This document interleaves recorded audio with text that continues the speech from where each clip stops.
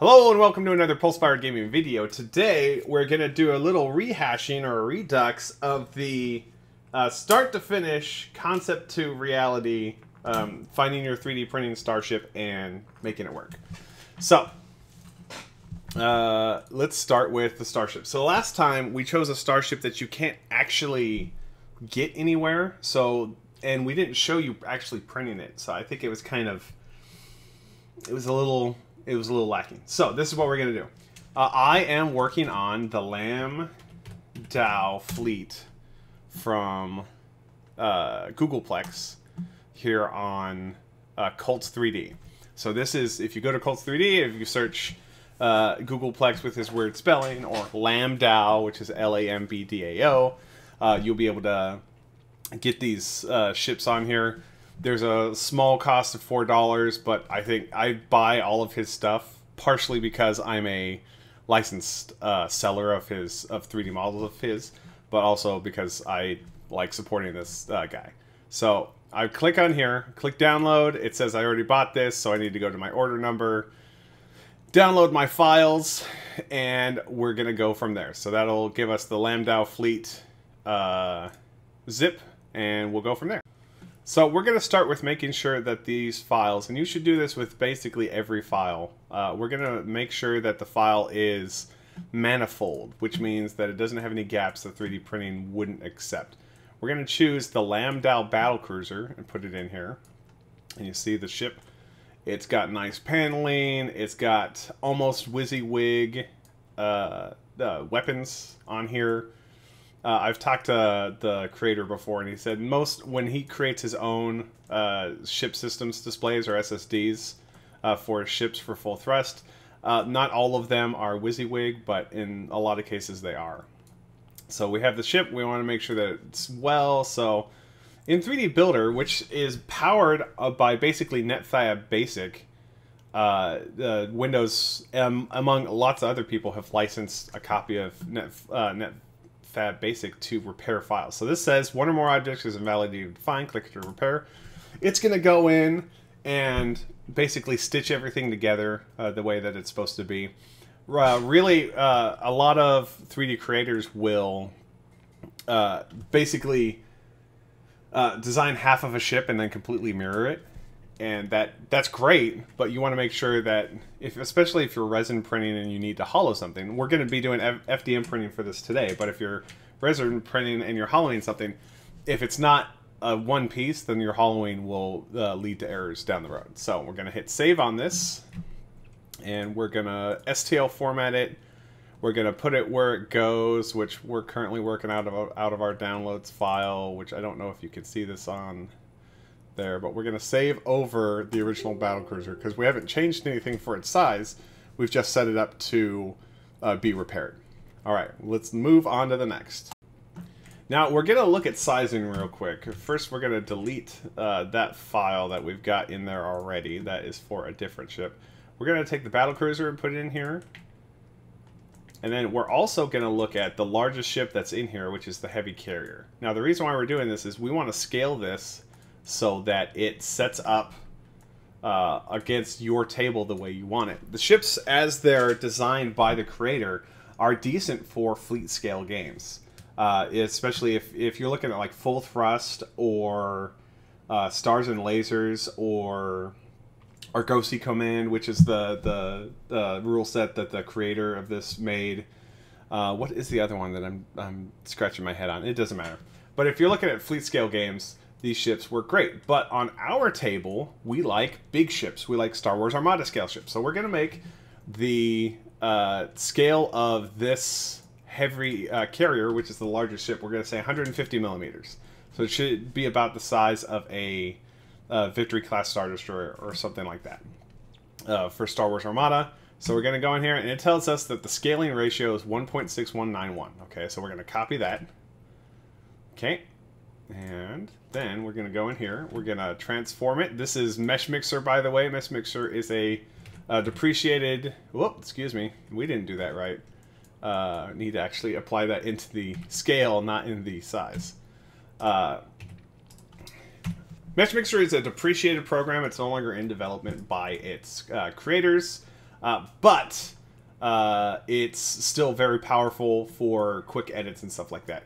Uh, if you build, if you get into different workflows, and really that's what this video is. This is a workflow video showing how I go about uh, sizing and fixing and printing a model. Uh, Mesh Mixer is pretty decent for for that, for doing that. So we're going to decide that this is the front right here. That's the top. This is the bottom. So what we're going to do is we're going to apply our uh, mounting, our preferred mounting system, which is the Armada keyhole um, there. And we're going to say yes because we want it right here. And it doesn't always put it in the perfect place. Uh, so we're going to line this up.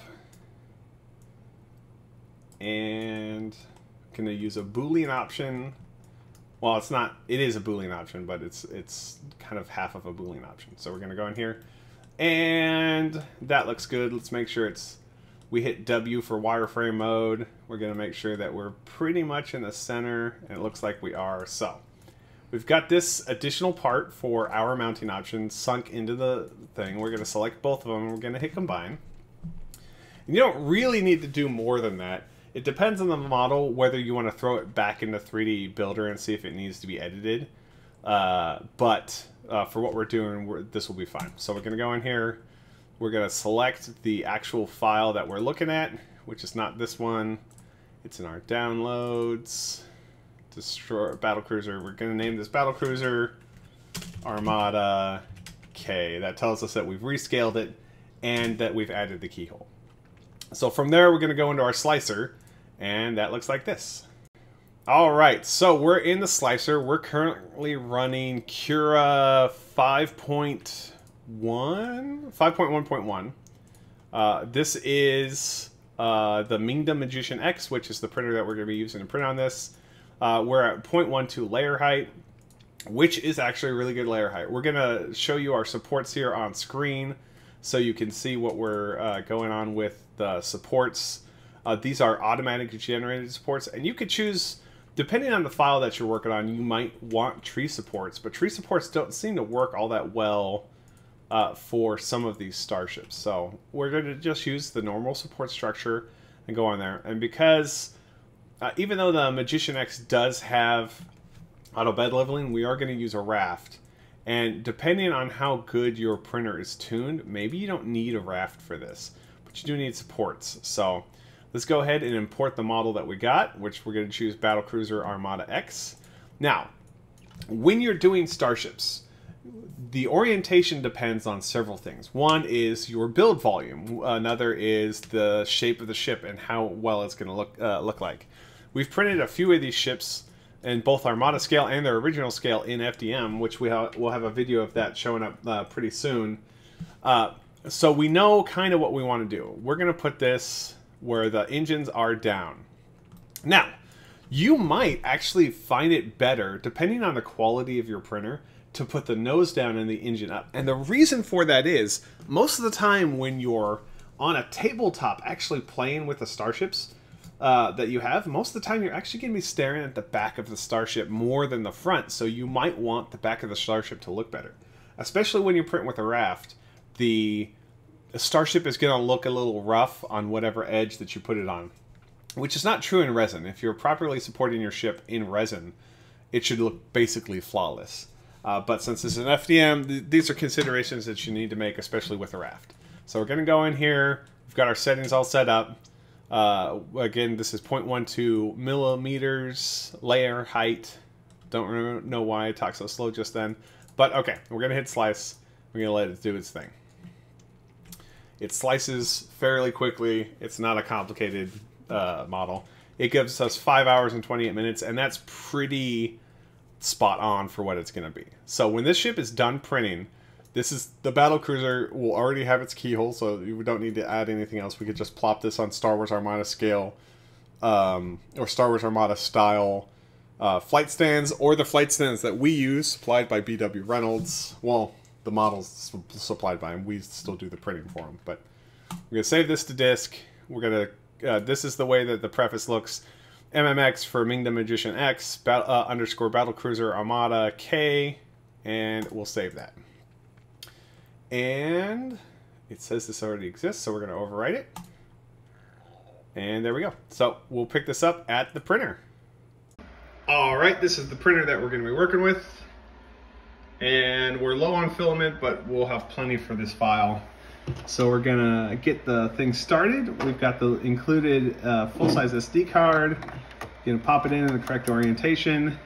It's gonna tell us that it detects it. You're gonna go to the SD card. And this varies obviously by the printer that you're using. This is not the exact file that we sliced, but it's it is the exact file. Uh, it's just named differently. So we're gonna go in here. Gonna hit confirm. And the printer's gonna heat up. All right, the printer has heated and is doing its wipe. Uh, we have completely taken off the uh, uh, cowl that sits over the, or the shroud that sits over it. So we wanna make sure that a good first layer is going down. And all right, this looks pretty darn good. Might be a little high, but we're gonna let this go for now. So this should take about five and a half hours, and when it's done, uh, we'll we'll check in halfway through-ish, and then when it's done, we'll shoot the video. Thank you. All right, we are two hours in of a five and a half hour print, and it's looking damn good. All right, here we are. You could see that some support structure failed right there, but I bet the printer itself, or the print itself, is fantastic. So let's get this off of our plate. Yee! And there we go. Fantastic. We'll get the uh, supports removed and we'll take a look at the print. All right, now let's take a look at this print. Uh, now I told in the earlier, I said that the print that we were using wasn't the one that we just sliced, but it's very, very similar. What that model is missing is the keyhole. So we have some extra keyholes that we have printed out for attaching the starships. So we'll just super glue one to the bottom. But the other method is preferred because it's cleaner. So one thing on here is that because our print head is a little close to the bed, getting the raft off is kind of a chore. You can see it, part of it going on there. But, oh look, and it even tore off some supports. We're gonna leave that there for a second. Getting rid of that little support right there. That support right there. That support right there. Let's grab our little X-Acto and go in here. Let's get off this edge here. Let's go this way. There we go. Okay, see, this is what we were talking about earlier with the uh, raft. The surface of the engine is not perfect, but it's not terrible. Uh, when you prime this and paint this, uh, it'll still be there, but it'll look okay. So I believe the ship is symmetrical. Let's keep let's keep moving on here popping off supports, popping off supports. Now that support, that's, the support failure here did actually damage the print, but not critically. You can see on here, this is the result of the support failure getting in there. Uh, so this will be the bottom of the print here. Pop off that support. Okay. All right, that is everything on the back side. Now on the top. Get on here. Um, nothing over here. Let's get in here and file that a little bit. Okay, so we will discard all of the support material I wish there was a better ecosystem for recycling used filament because when you're printing stuff with supports, you do end up having a lot of stuff that you discard because it's support material. Especially with, in my situation where I'm printing things pretty constantly with rafts, that means that support material gets, uh, there's more support material than any other time. So we're gonna go in there, apply some super glue. This is just Gorilla Super Glue. It works. On the actual keyhole, we're gonna put some Instaset, which is, this is accelerator for CA glue. I don't, I almost never use the spray portion. I will generally just drip it on the end. And this bottle of accelerator will last you a very long time. Okay, because it says accelerator, L accelerator on it, we want to do it right the first time.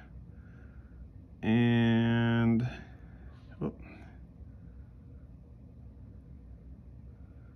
there we go. There's a touchdown. Oh, there's a little support material there. Oh no, that's Oh, that's the bridge. Okay, so. All right, so this was the battle cruiser. I will show you a painted artillery cruiser right here. This was primed with Krylon Riverstone or something like that. Uh, and then uh, we used some Monument Transparent Orange. Uh, we used the uh, Tamiya uh, panel liner, and that did not actually work great on here uh, because you've got all these little lines for it to fall into, but it, it worked pretty good. got some, uh, this is Lead Belcher, uh, Runelord Brass, and then that's as far as we've taken it so far. We do need to add white into the engines and then choose an engine glow color. I recently picked up one of the new contrasts. Uh, Doomfang Magenta. Uh, and I like this. It's a little light.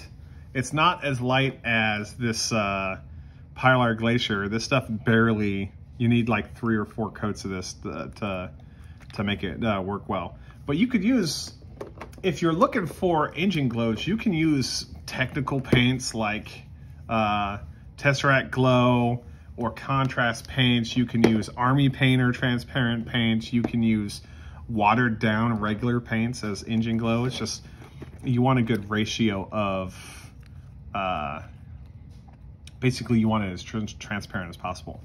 These stands, by the way, are a new prototype stand from BW Reynolds that's uh, geared towards full thrusting games like that, but also uh, if your uh, if your rule set allows you to face a different way than you move, that's what the uh, that's what this guy is all about. So you can be moving in this direction, uh, indicated by the arrow, but facing maybe 90 degrees or maybe backwards, kind of like you'd see in Babylon 5 or The Expanse, something like that. In any case, I hope you enjoyed this presentation on start to finish uh, selecting and uh, printing out a FDM Starship. I hope you found uh, the information uh, relevant to what you want to do. Uh, I do appreciate you guys watching uh, my videos. Feel free to like, comment, and subscribe. Do the call to action bullcrap. Also, if you have questions or comments about what's going on, or if there are other things you want to see, feel free to let me know in the comment sections. This whole video is the result of someone asking a question in previous video about orienting prints. So I'd love to get your ideas on what you want to see so I can have content that's geared better towards the audience that I want to get to. Have a great day.